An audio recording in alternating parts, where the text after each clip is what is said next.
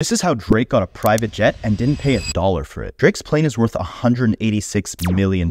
That's more than double the price of Elon Musk's plane. And if Google is right, which it's probably not, that's almost as much as Drake's entire net worth. So how did Drake afford a plane that's worth almost as much as he is? Well, he didn't. He got it for free. The plane was a gift to him by Canadian airline company Cargojet, and they didn't ask for much in return. All they wanted Drake to do was put the company's name on the plane. Now Drake takes that plane all across the world. Millions of people are seeing him hop in and out of it on Instagram and even in the sky. From a marketing perspective, that's crazy brand recognition for Cargojet. It's basically an unspoken endorsement deal, or a billboard with wings. Everyone who knows Drake knows he's flying Cargojet's plane. The company thinks the plane will pay for itself in free advertising. But for $186 million, who took the W? Drake? W's in the shot.